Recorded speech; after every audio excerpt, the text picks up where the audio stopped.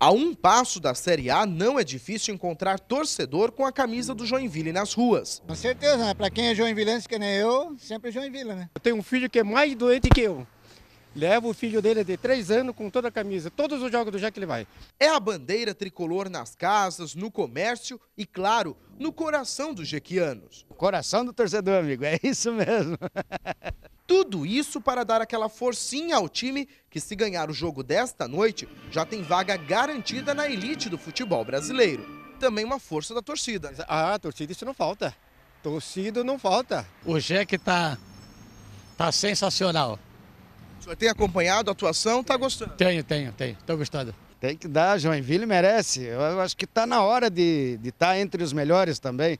E com a, o papel da torcida ali apoiando, incentivando, participando, indo no campo, que é mais importante ainda é estar tá presente lá, que é para eles ver que fazem a diferença. Confiança é o que não falta para essa gente. E cada um arrisca um placar.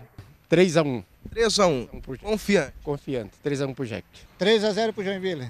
Ah, vamos botar aí uns 2 a 0 É 1 a 0 tá bom já. Pelo menos isso, né? Pelo menos, tá tranquilo, né? Se for 5 a 0 melhor ainda. O desejo de ver o Joinville na Série A do Brasileirão é tão grande que tem gente incorporando o espírito de técnico. É um palpite diferente do outro para melhorar o time. Jogar com ponta e um centroavante, né? Não pode botar dois caras abertos no time. Mais ali, entusiasmo do jogador e mais força entre eles a união entre eles. Nada de se bicar um com o outro. Para a Série B tá bom, acho que para a Série A tem que dar uma...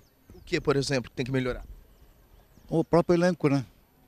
O elenco precisa de uns reforçozinhos, mas com esse time aí para a Série A tá meio... não, não vai dar. Se tudo der certo, o dia 4 de novembro será lembrado como o dia em que o Joinville voltou à elite do futebol. Para isso, o tricolor precisa vencer o Sampaio Correia. O jogo será às 9h50 da noite no estádio Castelão, em São Luís, no Maranhão.